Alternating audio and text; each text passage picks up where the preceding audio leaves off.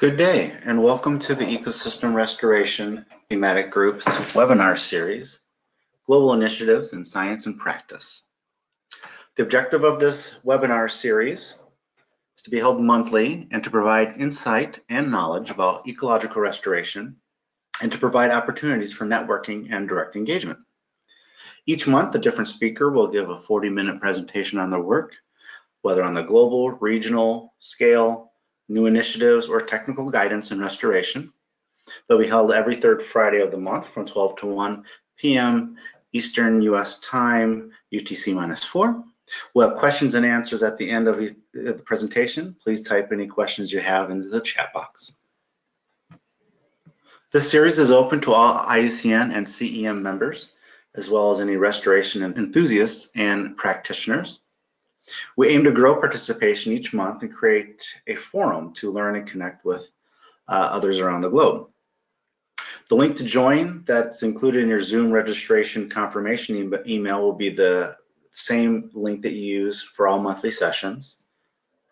All monthly session recordings throughout the year will be found on the Ecosystem Restoration webinar series site.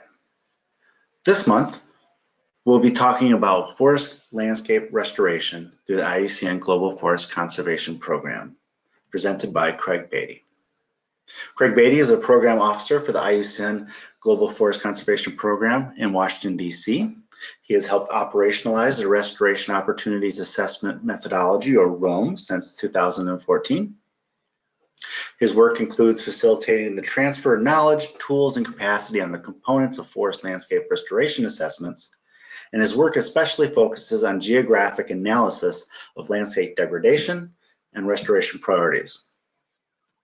He also works to develop the Restoration Opportunities Optimization Tool, which is a decision support tool that enables stakeholders to optimize their investments and restoration to the benefit of multiple ecosystem services for varied, varied beneficiaries.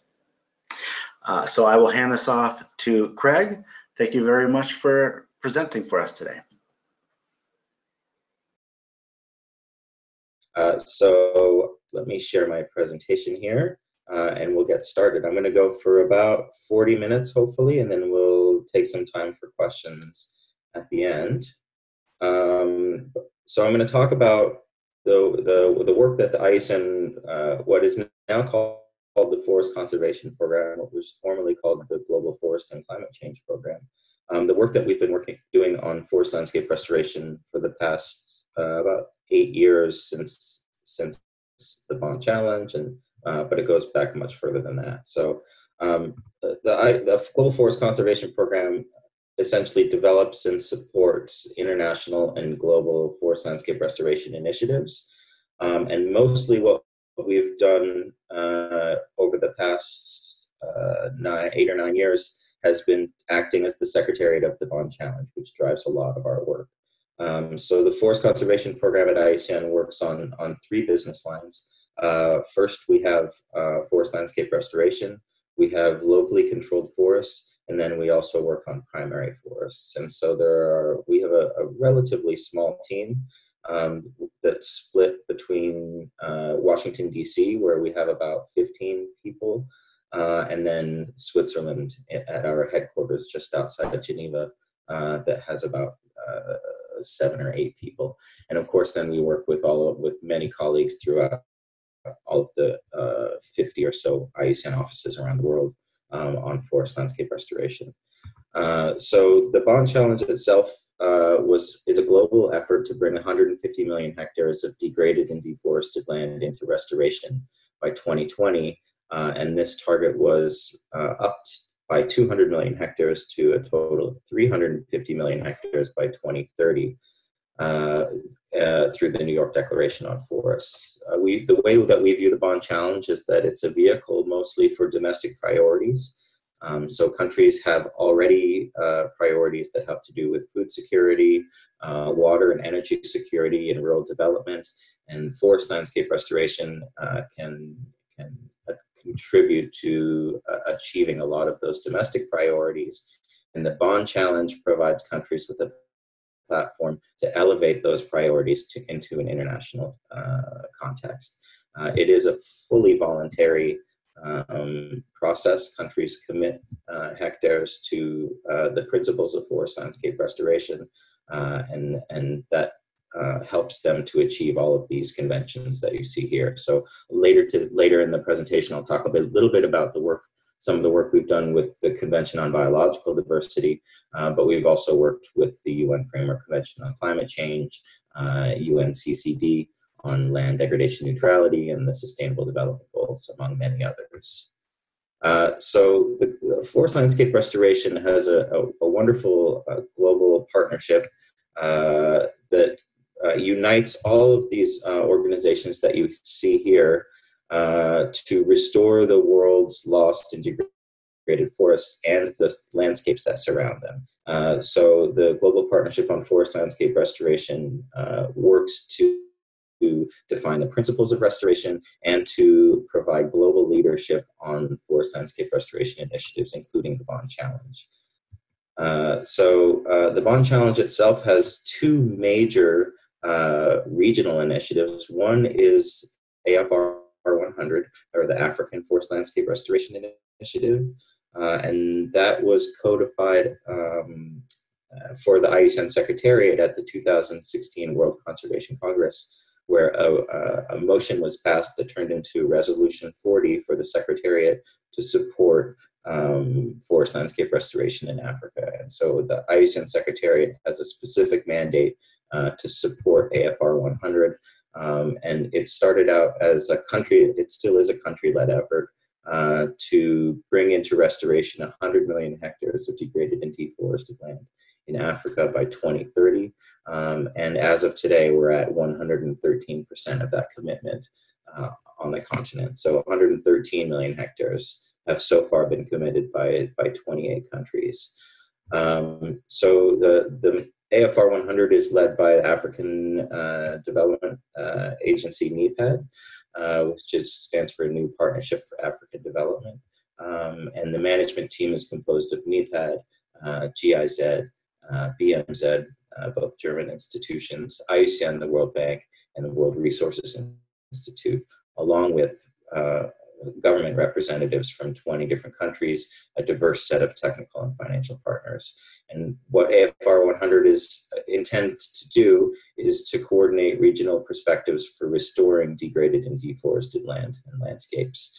Um, it deepens the engagement with the regional economic commissions and other partners to make sure that forest landscape restoration uh, contributes both to improving ecological productivity and uh, uh, supporting human livelihoods. Um, uh, it, it, supports uh, different governance structures and harmonizes with initiatives like TerrAfrica and the African Resilient Landscapes Initiative. Um, and every year they hold a technical and high level conferences and, and, meetings. I think this year coming up it'll be in Ghana. Um, but they change where it is uh, each year, and they, they outline their priorities for the upcoming year. Uh, I, the IUCN Secretariat last year worked with NEPAD uh, to develop capacity in several different countries in Africa on forest landscape restoration and how to operationalize those commitments to AFR 100, which I'll talk about in, in a few minutes. So the other main uh, global initiative is Initiative 20 by 20, and this has been going on a little bit longer um, and covers all the all the countries that you can see here. Uh, it was originally intended to bring 20 million hectares of degraded and deforested land uh, under restoration by 2020.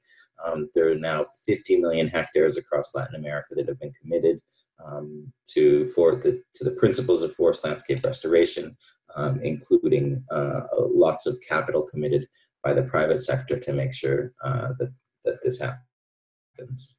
So like AFR 100, there are technical and financial partners. Um, you can see in the middle here underneath 20 by 20, there are many different um, organizations and countries. So um, essentially what, what uh, 20 by 20 is looking for is commitments uh, to the principles of forest landscape restoration from organizations or uh, countries uh, or government uh, agencies or, or state agencies that uh, are interested in forest landscape restoration and see the benefits uh, for all the all the all the ways that, that uh, they they go. Uh, so what we do at the IUCN Forest Conservation Program is we generate and we support interest in forest landscape restoration, and that's through these regional initiatives. Um, that's through securing commitments to the Bonn challenge at a high level. Um, that in, uh, includes um, organizing ministerial roundtables, which we've done for many years in Africa, uh, Asia. We just started one in Central Asia, Latin America, and the Caribbean. Um, and then uh, what we want to do uh, is to not only uh, encourage countries to countries and, and those with the rights to manage land to to commit to forest landscape restoration, but we'd like to help to them to track those commitments. Um, and so, we'll, in many of the many of the much of the work that we do, we take forest landscape restoration assessments, and then we spell out how the how restoration might contribute uh, or how um, the process of, of, arranging stakeholders and talking about restoration even uh, can contribute to uh, the Aichi targets under the CBD um, or nationally determined contributions under the Paris Agreement for the Convention on Climate Change and so on and so forth. And these ministerial roundtables um, happen probably every year um, in, at, in at least one part of the world. Um, and what they do is they build high level political commitment uh, to forest landscape restoration that then can then uh, uh, trickle down uh, in many cases to, to um, the operationalization uh, of forest landscape restoration commitments. Uh, so this is where we are in the Bonn challenge today. we have 58 commitments that cover 170 million hectares um, in all of these countries. Uh, the most recent one was Zimbabwe, which committed 2 million hectares earlier this year or late last year. Um, or, uh, Zimbabwe and Scotland, which was our first uh, commitment from, from uh, Europe. Um, also new to the scene uh, is the Caucasus and Central Asia, and they're pretty small, but you can see Georgia and, and Armenia have committed, as well as Kazakhstan, Tajikistan, Uzbekistan, and the Kyrgyz Republic. Um, that you'll see a few of them on here um, uh, are commitments to 20 by 20 or AFR 100, and they're not uh, indicated as Bonn challenge commitments. Uh, and some of that has to do with, um, uh, for instance, Paraguay has committed to 20 by 20, but they haven't included a, a number of hectares uh, that they're committed uh, that they've committed to the Bonn challenge. So while we recognize their commitment to forest landscape restoration, um, uh, we were looking to make for, for Paraguay and, and the other countries here, uh, some of them to uh, make hectare commitments, and in other cases there are just some uh, some administrative issues with with, uh, with that. Uh, but you can see across the world. Um, the commitments to the Bonn challenge have, have really ramped up. I'll say that in the first commitment was for Rwanda, and that happened uh, right after the Bonn challenge was initiated in 2011 and rwanda committed 2 million hectares to the Bonn challenge. Um, and their the rwanda's land area is is 2.2 million hectares. So essentially they've committed they committed the entire land surface of, of rwanda to the principles of forest landscape restoration which they're now implementing right uh, currently. Uh, so I mentioned tracking the Bonn challenge commitments, and one of the main projects that we have at the, at the Forest Conservation Program is the Bonn Challenge Barometer. Um, and we've just finished, um, or we're just finishing up um, a trial run of six different countries uh, to pilot the Bonn Challenge Barometer. And what this does is it, it's a system that allows countries to track um, their commitments to the Bonn Challenge. Uh, so what it is uh, is it accommodates a wide range of, of uh, those Bonn challenge pledge contexts. Each country um, comes at forest landscape restoration in a little bit of a different way with different objectives. Um, it, looks at uh, the the country's circumstances and the capabilities for reporting. Um, and then uh, the accuracy and the credibility of those responses is categorized into different tiers based on on how com- confident we are in that information or how confident uh, governments are in reporting that information. What we hope to do through the barometer is to minimize the burden and effort that's required for reporting uh, or tracking Bonn challenge uh, commitments. So we'd like for the indicators that we use in the in the barometer to align with other reporting commitments that countries have uh, that link to existing monitoring systems for landscapes, uh, and uh, we can provide detailed guidance uh, where possible here. So, and then finally, uh, uh, the barometer identifies the progress on forest landscape restoration uh, and gaps and, and places where improvements can be made. And so um, it's intended to be used by governments or Bonn challenge focal points um, and, and has been uh, pretty good so far at doing that. Uh, let's see here, next. Okay, so this is this is these are the the criteria that the barometer uses. It has success, success factors on policy and financial flows um, and the technical underpinning of restoration planning and monitoring and evaluation. Most of the work that I do at, uh, for, the, uh, for the program is on restoration planning, and I'll talk about that in a second. Um, and then the, the information that countries would be reporting on are hectares under restoration, the climate impacts of uh, the restoration transitions uh, that have taken place, uh, any biodiversity impacts, and then uh, importantly, also socioeconomic impacts. So the number of jobs created uh, through forest landscape restoration. And this has been specifically important um, in the United States, which made a 15 million hectare commitment to the Bonn challenge very early on. Um, they uh, are, have, have done a fantastic job of, of keeping track of the economic impacts of their collaborative forest landscape restoration program um, and to to report on the number of jobs and the the support for a rural economy, um, especially that the, the Forest Landscape Restoration Program has created. And uh, so, if you're interested in that, you can go to InfoFLR, and the barometer is is up on the webpage. Um, and and you can see here that uh, the barometer tracks policies and institutions, financial flows, um, and all of these all of these tabs at the bottom. But really, it gives a very a broad overview of, of progress um, uh, underneath uh, for each of the, the Bonn challenge commitments. So I'd encourage you to go and, and play around with that.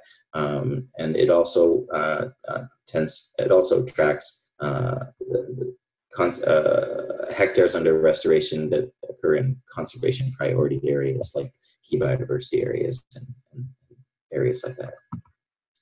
Uh, so maybe I'll just shift gears a second to talk about the principles of forest landscape restoration because it's something that comes up all the time. Um, and there was even a, a, there's a Nature article that came out um, a couple weeks ago that talked about the Bonn Challenge and forest landscape restoration. And I think that there's a, a lot of times a misconception that forest landscape restoration is forest restoration. Um, and uh, what we do in forest landscape restoration is to look at forests as components of functional landscapes. And so the Global Partnership on Forest Landscape Restoration has come up with seven principles uh, of forest landscape restoration. And when countries commit to the Bonn Challenge, they commit to uh, these seven principles of forest landscape restoration. So, um, in implementing their, their forest landscape restoration commitments, countries uh, commit to manage for long term landscape resilience. Um, they commit to looking at landscape restoration uh, that allows for multiple benefits for eco- ecological benefits, social benefits, and economic benefits. Um, forest landscape restoration needs to be tailored to local conditions. Um, so as we look at uh, forest landscape restoration activities that work and try and scale them up, we always need to be aware uh, that restoration happens at always at a local scale and uh, should be tailored to local conditions. Um, uh, forest landscape restoration needs to involve a broad group of stakeholders, hopefully as many stakeholders as is possible, um, who are inter- interacting with the landscapes uh, that are under assessment or restoration. Um, also, the forest landscape restoration does focus on landscapes. It is not site-based. Um, so uh, the, the uh, forest landscape restoration activities that would take place at specific sites form components of much larger landscapes uh, that, that uh, are the, are the uh, what the, the, the scale that we're, that we're looking to, to work at. Um, forest landscape restoration looks to restore functionality, and that's functionality, both ecological functionality uh, as well as um, social and economic functionality. Uh, and then importantly, forest landscape restoration needs to maintain uh, e- natural ecosystems. Uh, so, with all of these components, um, countries agree to make uh, a commitment to forest landscape restoration for however many hectares, uh, and then um, uh, go forward and, and, work on it. But uh, forest landscape restoration is not just about planting trees. Um, we plant planting trees is certainly a component of it, and and lots of countries have different kinds of, of tree planting situations, including plantations, agroforestry, uh, lots of different interventions with planting trees, but this is a, a component of a broader landscape strategy. Uh, forest landscape restoration is also not about forest restoration, uh, not only about forest restoration. Forest restoration uh, is certainly an important part of uh, building functional landscapes, but FLR is not focused only on forest restoration.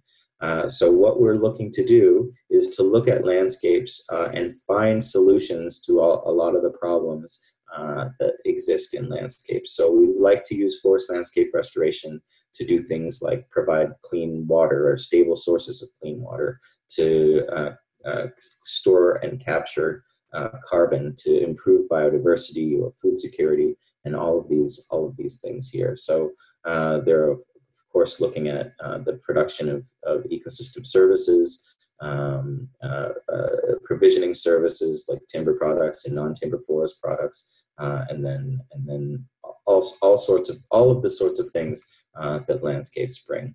But when we talk about forest landscape restoration at IUCN, our entry point is always degradation.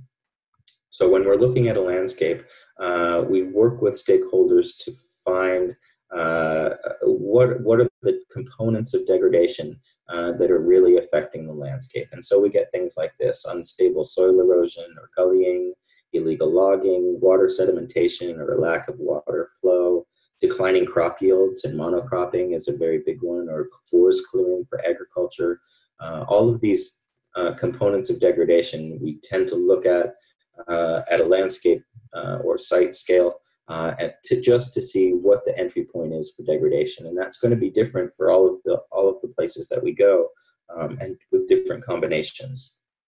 So then we try and look at what are the opportunities um, for addressing that degradation. So if we have unstable soil, uh, erosion and gullying, what we hope with the opportunity is that through forest landscape restoration, we would we would uh, use uh, different interventions to restore stable and rich soils. Uh, if we're looking at declining crop yields and monocropping, um, uh, what we have an opportunity to do here is provide uh, increased food security and nutrition uh, and so on uh, across the landscape. So each one of these types of degradation uh, has an opportunity that's attached to it.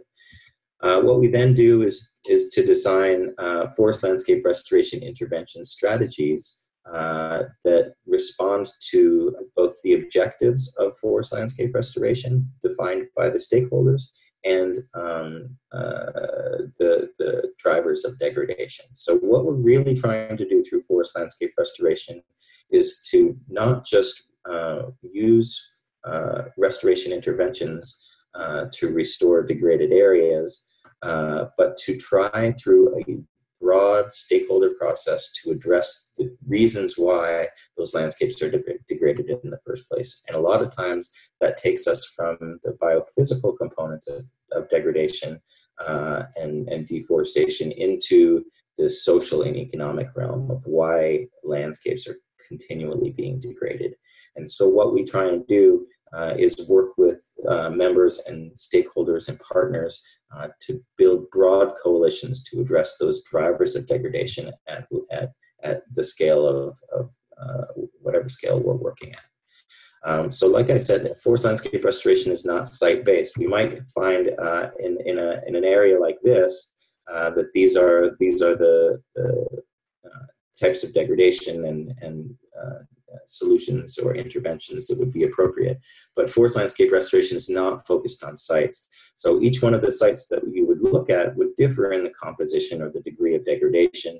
They would differ in their economic objectives and potential, uh, and they would differ in the costs of restoration and how stakeholders would like to achieve uh, their own FLR objectives. So, since forest landscape restoration is always a local exercise, we need to keep in mind uh, that we uh, land uh, that although uh, forest landscape restoration and restoration always takes place at a local scale, um, uh, how can we how can we scale that up in in our approaches? so, what IUCN Secretariat does is we work to convene uh, groups of stakeholders that are representative of, of the landscapes in which we're working. And so, if we're looking at a district scale, which we've done in many cases, um, we'll look at the social and the economic and the environmental objectives of different stakeholders uh, within that district. We can also scale up to provincial or the next administrative level. And when we scale up to that level, um, we'll get different social, economic, and environmental objectives a lot of the times. Uh, or the way that they are addressed ends up being different because the scale has changed. And then a lot of the times we work at national scale. So looking at laws and institutions and, and policies that drive how people utilize landscapes um, and then uh, assessing the opportunities for addressing those uh, uh, gaps or shortfalls or, or, or, recognizing the successes. Uh, so what, the, what we do at the Secretariat for Forest Landscape Restoration, and I think this is probably the bulk of the work that we do, is we support and we facilitate capacity development and stakeholder engagement and technical assessments of FLR opportunities at local scales uh, and we do the same thing at national and subnational scales. And so, what we're trying to do is work both on a, at, a, at a very high national or international policy level to build broad support for forest landscape restoration and the multiple benefits that it can achieve, as well as developing capacity and supporting the people that actually have to do the restoration at the local scale.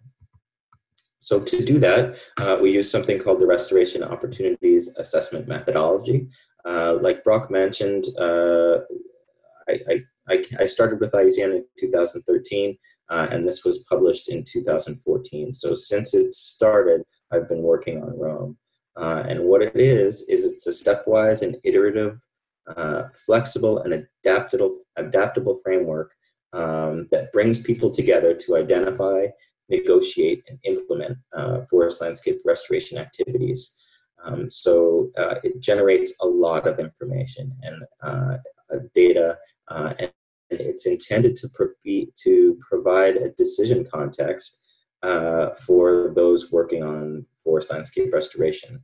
Uh, so it's it ends up providing a lot of maps and data and cost benefit analysis and, and carbon abatement and all sorts of technical things um, but it's intended uh, as a decision support tool. So uh, it operationalizes Bonn challenge commitments a lot of the time, um, and it is demand driven. And so when uh, when uh, a group of stakeholders comes together to assess the opportunities for restoration through ROAM, um, the it's that it's that platform that ends up uh, having ownership over the process um, and and and eventually uh, putting together a strategy uh, for forest landscape restoration. So ROAM answers, uh, these are eight questions. It probably answers way more than this. Um, but it, it helps uh, stakeholders to answer, answer the question of where restoration is feasible, uh, socially, economically, and ecologically. Um, what is the extent of restoration opportunities in the country? Many people might be familiar with the World of Opportunities map. Um, uh, what, what ROAM I think does uh, very well uh, is it defines what the what opportunities exist for restoration at whatever scale it's operating. So at the global scale, you'll have a much different analysis um, than when you really get down and start talking to national or subnational level stakeholders about what their objectives for restoration are and what their drivers of degradation are.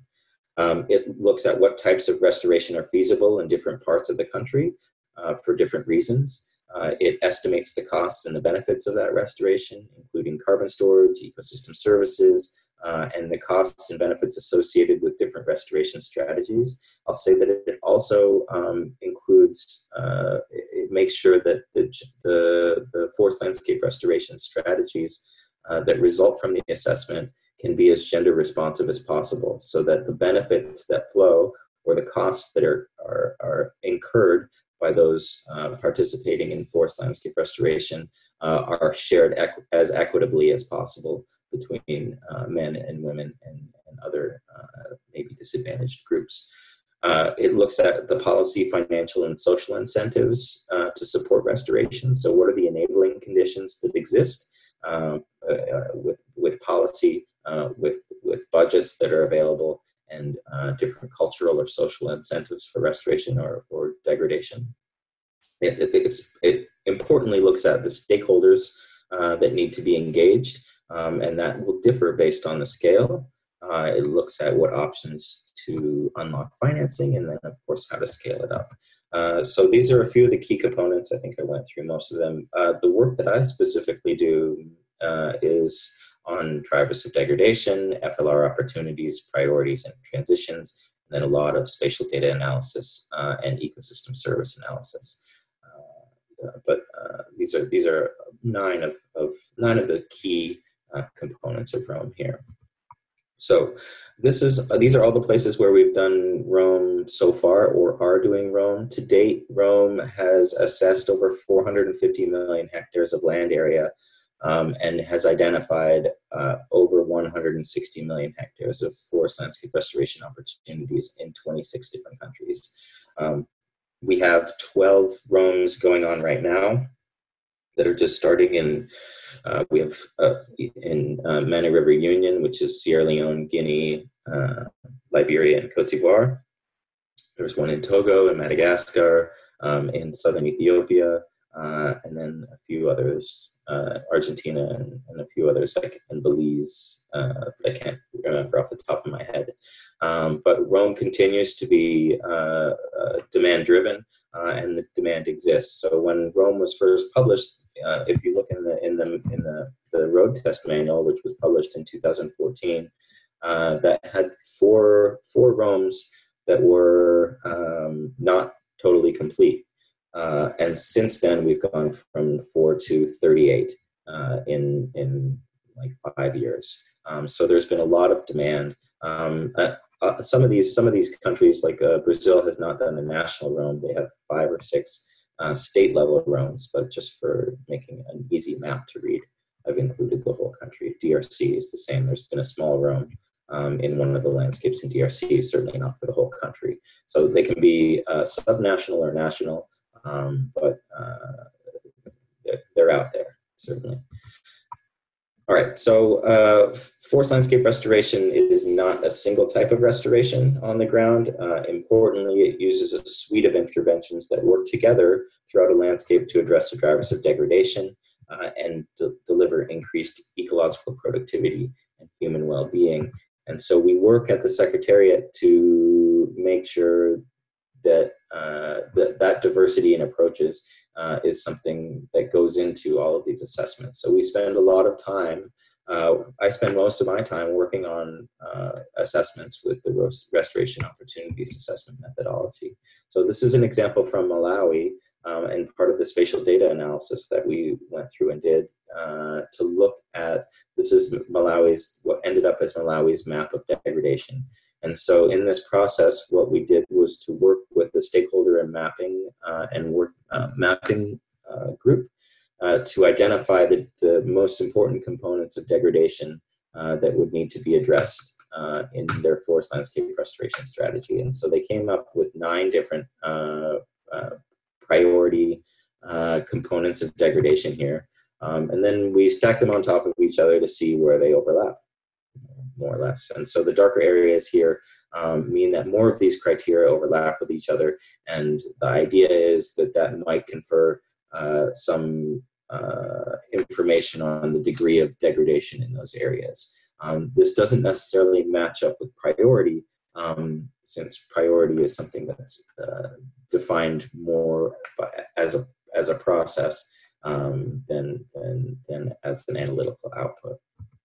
Um, this is another example of one of the outputs from ROAM from Mexico. Uh, they've spent a very long time in Mexico going through very uh, uh, detailed economic models. Um, this is, I think, one of 26 or 25 or 30 different economic models developed by um, the uh, stakeholder platform that looks at a successional agroforestry system for the Peninsula Yucatan. Uh, and so you'll see in the first three years, um, there are uh, uh, perennial crops that uh, contribute squash and banana, and uh, then further on from the fourth year, mahogany and mango take over. And, and what was key in this here was that um, cash flow wasn't interrupted. So, uh, working with with smallholders in Peninsula Yucatan, uh, the year-to-year cash flow was the most important thing for farmers. And so, in designing forest landscape restoration strategies, uh, they had to make sure that cash continued to flow. Um, and the result of this working, oh, the result of this working with the Mexican government uh, was that uh, agricultural subsidies uh, that were provided previously for uh, any kind of agriculture, I'm, i understand, have now been diverted. A certain uh, percentage has been diverted to support the implementation of these forest landscape restorations uh, strategies on degraded and deforested land uh, in Peninsula Yucatan. Uh, so this is another example from uh, Espírito Santo in Brazil. So we did a state level assessment there, um, and uh, this uh, was uh, uh, one of the outputs of that is that in in the state they wanted to look at vegetation buffers along contours. Um, they wanted to use forest landscape restoration to protect wetlands and springs, tree plantings to protect from runoff on roads. Uh, and then uh, these are three of three of many um, interventions that would be uh, selected to uh, improve uh, the functionality of, of landscapes. In, in lots of Latin America, uh, the focus has been on degraded pasture land. Um, a lot of tropical forest has been cleared for pasture, and so there's a lot of focus on silvopastoral systems. and just one example of the, the impacts that this restoration can have uh, is uh, in in this instance um, on this pasture, uh, the, the, they originally had 1.2 heads of cattle per hectare, producing 1.7 liters of milk per day. Um, and after uh, forest landscape restoration, silvopastoral interventions, um, that they could uh, farmers could increase the number of heads of cattle per hectare to 5.1 uh, and produce 4.1 liters of milk per day. So that's a very significant increase um, from uh, a forest landscape restoration intervention in that specific case. So uh, maybe to, to jump here uh, to, to how we connect with uh, forest landscape restoration with the Convention on Biological Diversity, which is something that we've worked on for several years. Um, our first information document that we submitted on FLR was at the uh, CBD uh, conference of parties in, in Cancun in 2016, and it was a it was a pre, uh, we looked through all of the restoration opportunities assessments that we did uh, and started to match them up with the different Aichi targets. And so, uh, for the last COP in Sharm el Sheikh uh, last year, we developed a, an updated information document that looks at how biodiversity commitments can be accelerated through forest landscape restoration. And so what we did was we looked at all of the 26 uh, ROAMs uh, that, that we had at the time. At the end of 2018, we had 26 that were completed. Uh, and we looked through those to, to see uh, how those forest landscape restoration strategies or the assessments that were undertaken contributed to the different Aichi targets. Um, so, uh, and what we found was that uh, FLR is linked uh, to all of the Aichi targets. So uh, all of them, the work on forest landscape restoration contributes both in the, the process related targets. Uh, so targets like target two, which uh, unites people around around social, economic, and, and biophysical, the data needed to integrate biodiversity conservation at large scales um, as well as uh, Target 5, 7, 11, and then typical ones that have to do with forest landscape restoration. Uh, so if you're interested in reading how exactly forest landscape restoration uh, helps accelerate uh, or achieve those targets, uh, you're welcome to, to click on this link when we get the presentation out to you, uh, or just let me know.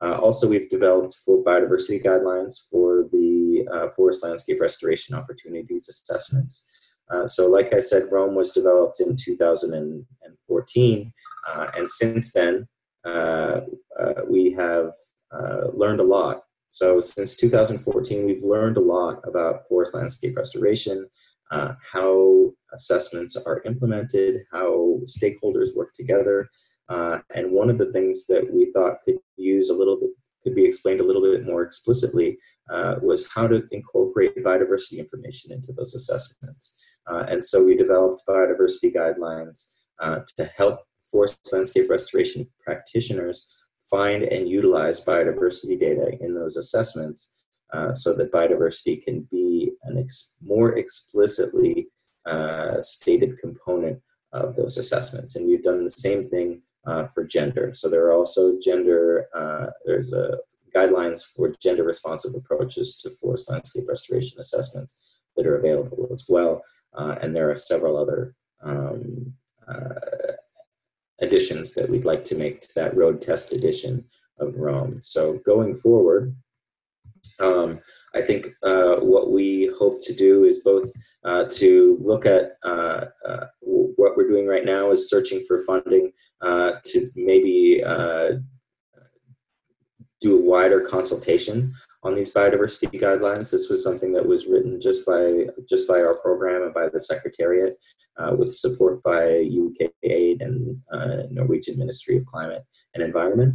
Uh, what we'd like to do is to find some funding to to uh, create a broader consultation process for these biodiversity guidelines that, of course, would include uh, Commission on Ecosystem Management and the Species Survival Commission, uh, as well as other uh, member and uh, interested organizations. Uh, and so uh, we're looking for that as well.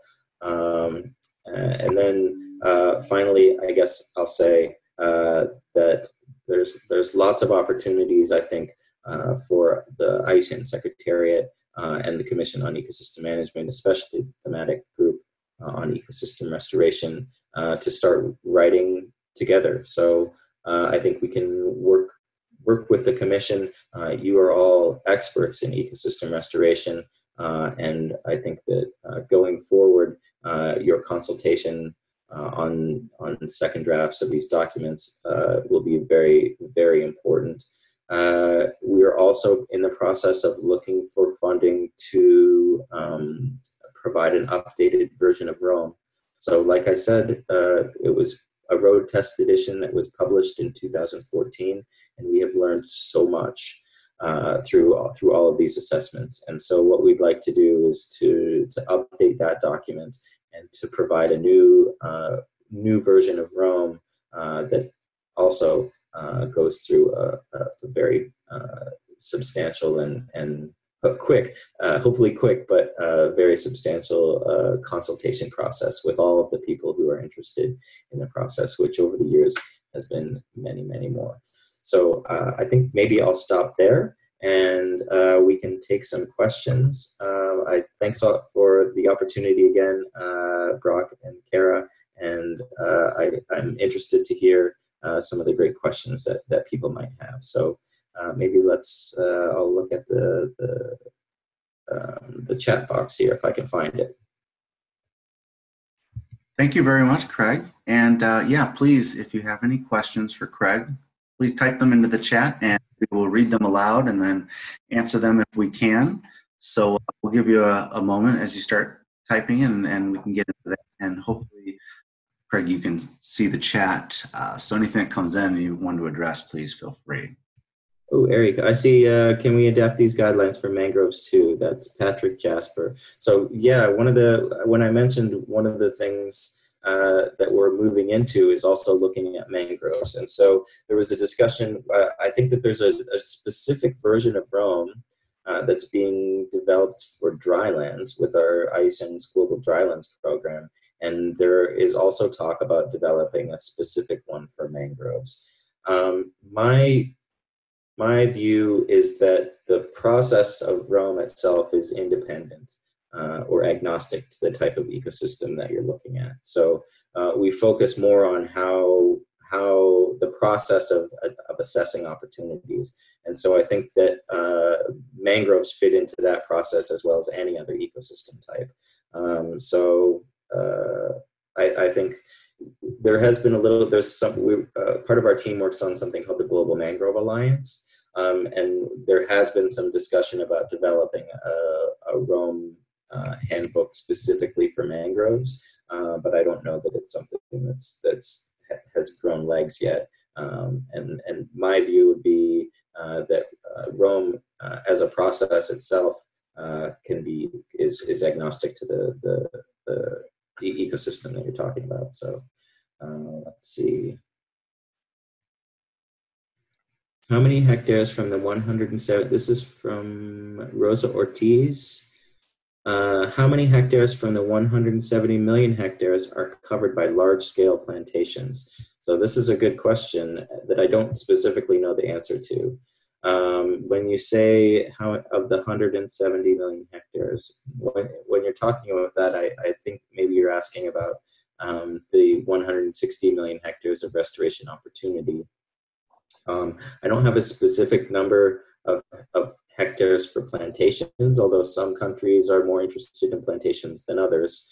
Um, I would say that there's a lot of discussion uh, regarding uh, plantations as a component of forest landscape restoration or countries using uh, commitments to restoration uh, uh, to restoration that it's gen- essentially just uh, a way to um, justify large scale plantations. I would say for forest landscape restoration, um, if the if we're thinking about the, the principles of forest landscape restoration that we work under, um, large scale plantations may be a component of a broad landscape uh, uh, that are appropriate. In, in some cases, plantations may be a very good option.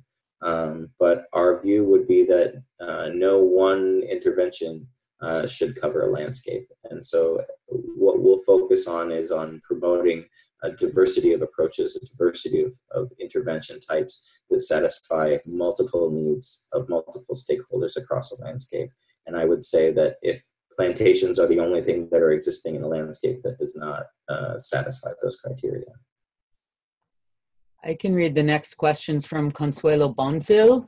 Okay, thanks. And it says, I've seen before a presentation of the work that has been done in Quintana Roo, Mexico, but some disagreement arose because they were considering palm oil plantations in their count of restored lands, claiming that they reduced their area and were going to make it more diverse. The academic community did not agree. What is your position about uh, this kind of activity?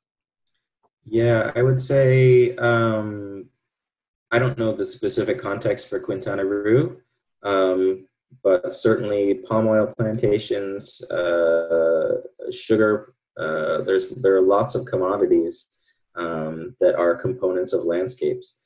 Um, I, I, don't know that I would take a specific position, not knowing uh, the, the, the the details there.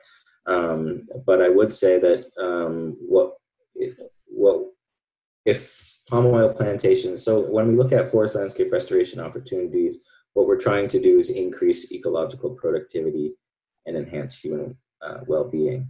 And so if if there's a land so the interventions that we choose under forest landscape restoration strategies need to contribute to that. And so if there's a if, if they're not increasing ecological productivity or it's a large uh, oil palm plantation that's that's uh, clearing forest uh, in the name of restoration, I would say that that's definitely not in line. Uh, and uh, position would be that that does not count as forest landscape restoration. That said, um, there are, you know, we're working in West Africa right now uh, on uh, four different uh, uh, forest landscapes actually uh, around Liberia where palm oil is a native species. Um, and the, the view is that palm oil plantations will be a, a, an integral component of the economic activities on those landscapes. And so, where farmland has been incredibly degraded, uh, oil plantations might be a, a, reasonable component of a forest landscape restoration strategy. Okay, the next question is about practices in restoration in Latin America and whether your program has systematized what is good practice.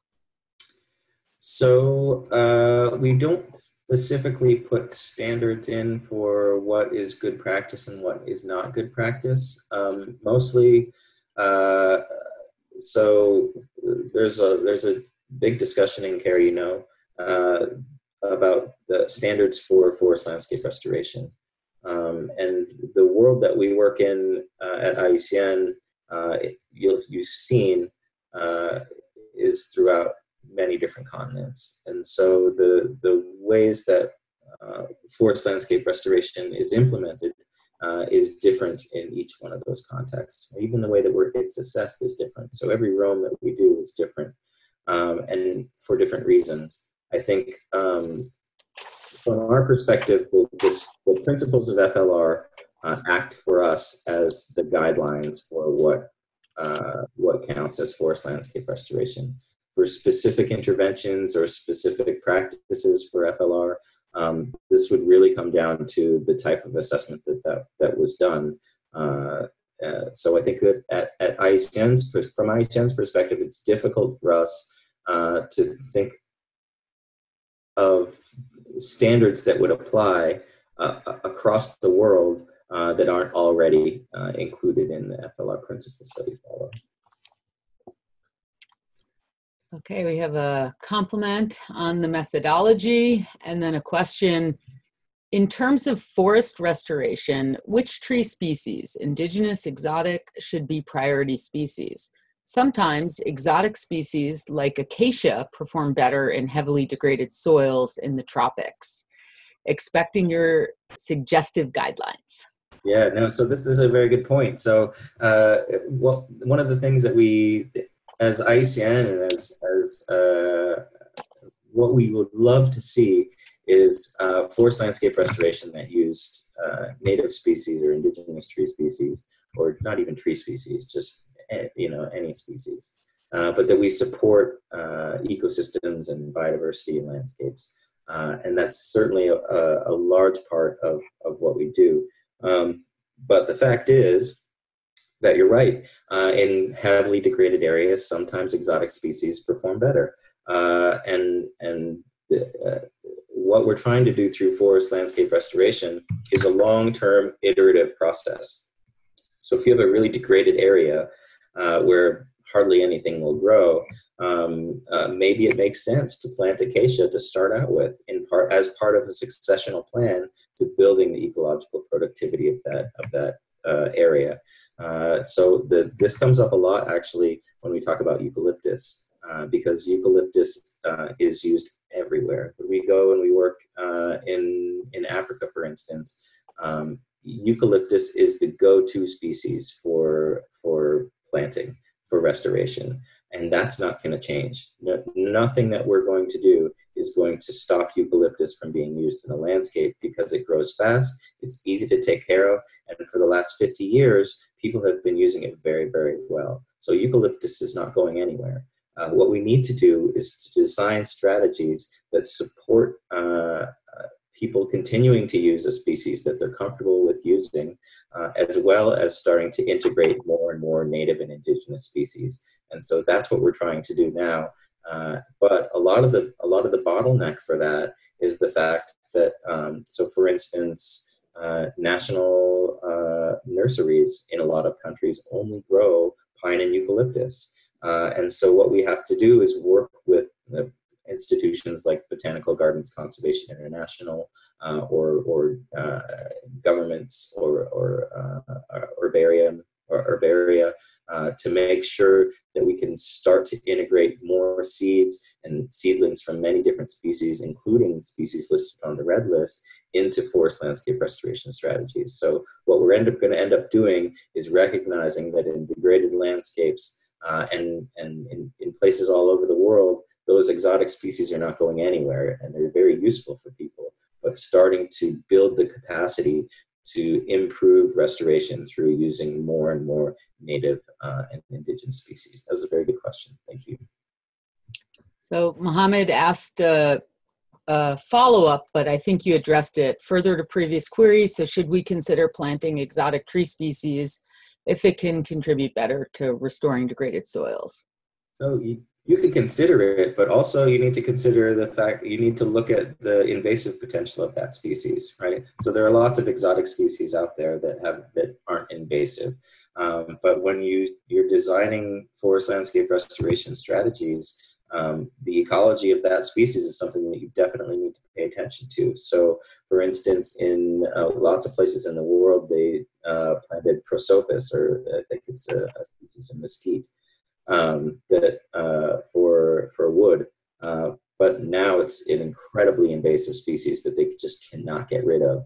Um, we had a project in Namibia where they just were trying for years uh, on a very small area to just get rid of these prosopis uh, trees that were sucking up all the water, and they were not able to do it. So I would say that exotic species uh, do sometimes perform better in degraded areas, but your restoration plan certainly needs to take into consideration the ecology of those species. Uh, as, well as the, the, the benefits that you might expect from that, that restoration intervention.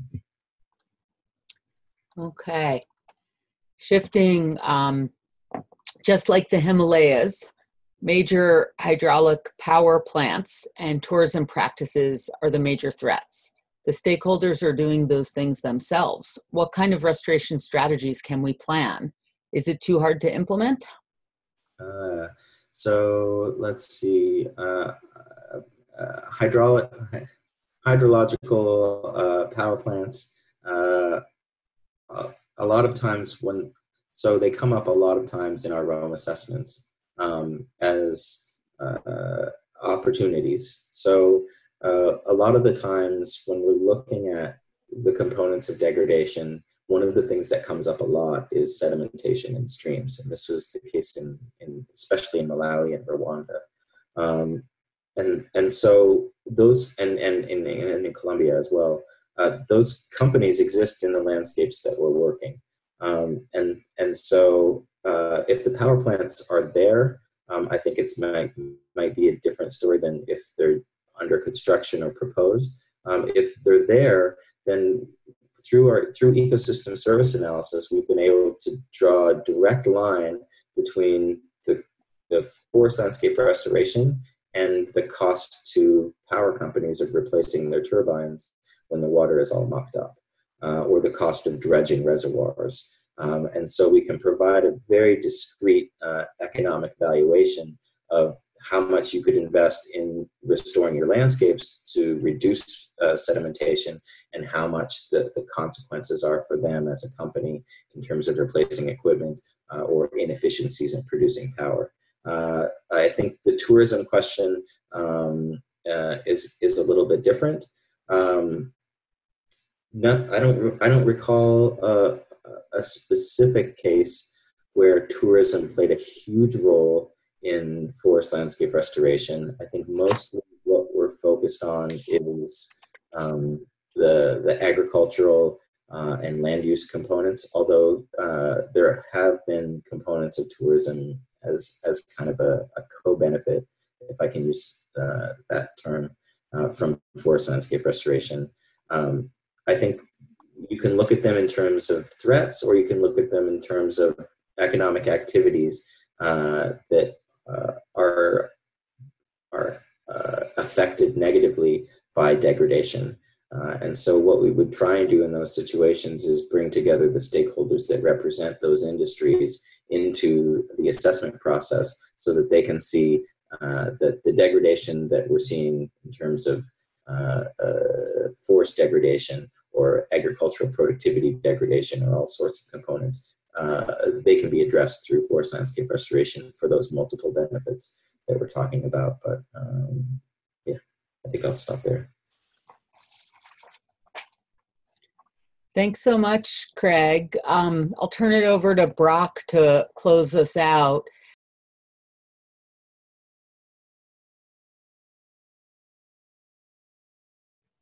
For this one and all future webinar sessions, we will have it posted on webinar series webpage, uh, which included all the communications, but I also put in the chat a little bit earlier.